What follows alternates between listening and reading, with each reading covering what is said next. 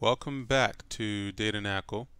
So today what I'll be showing you or walking you through is how to read and write text files or CSV files within your directory and you can bring them into Jupyter Notebook using Python programming language and use them as data frames where you can manipulate them and one of the things that you know one of the reasons I'm doing this is I remember when I was just first starting out, and one of the things I ended up having to do was pull a lot of files into my uh, working environment, and a lot of times I, you know, I would end up having to deal with little issues here and there when the the name of the file was different or the directory was different. So let's go ahead and walk through that process.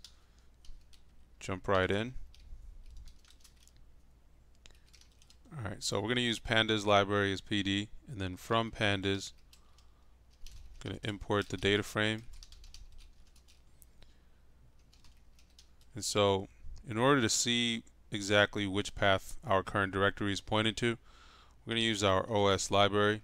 And so from OS, we can use get your current working directory. And it shows you the current working directory, where which path you're pointed to. And then another cool thing with uh, OS is you can list the files that are sitting inside your uh, directory path. And so these are the files sitting in my directory file uh, directory path, and we're going to be using this personal income .csv file here. So I'll bring this in. Let's create our data frame variable. So I'm going to use pandas read underscore CSV function. So that's the name of the file we're pulling in. And then if we want to see the actual file itself, just basically call it as a data frame. And so I'm not going to go into the details of analyzing any of these income numbers, but basically just showing you you can read your files into your Jupyter Notebook and then be able to manipulate them, create models, etc. And then once you're done manipulating your files, you can then write them back out as the manipulated file that you're done with. And in order to do that, we can just call our actual variable, and then we're going to use to underscore CSV.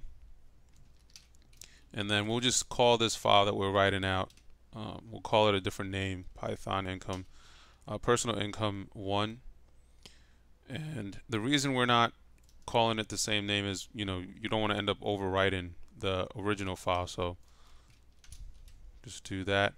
And then in order to validate that we actually did write the file out there we'll just use our os.list dir function.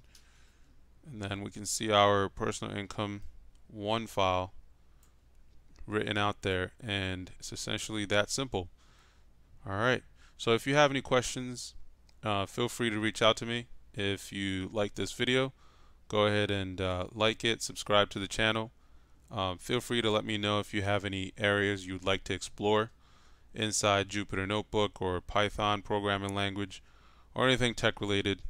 I'll be more than glad to see if I can support that initiative. All right. Thank you very much for watching. Bye.